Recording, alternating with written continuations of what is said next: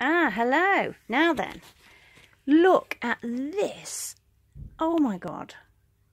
Uh, this guy must have come in on the bramble last time.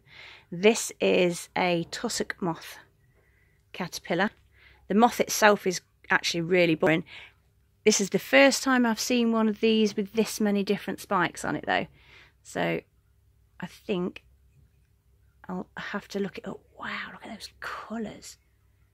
That is a pretty caterpillar. How the hell am I going to get that off there without getting hairs in me? Ugh.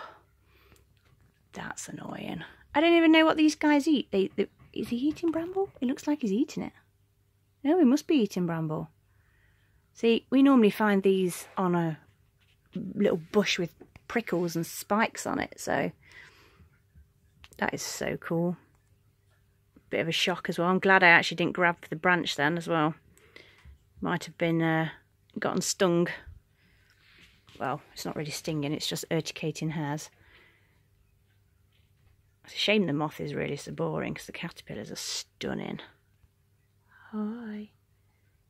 I've got a pet caterpillar. Look at those antennae, they're fabulous.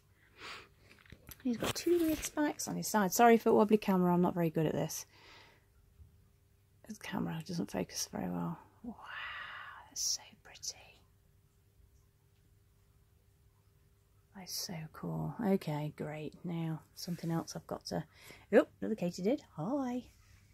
Go can you move off so I can... There we go, go jump off. Go jump off. Go No, there we go.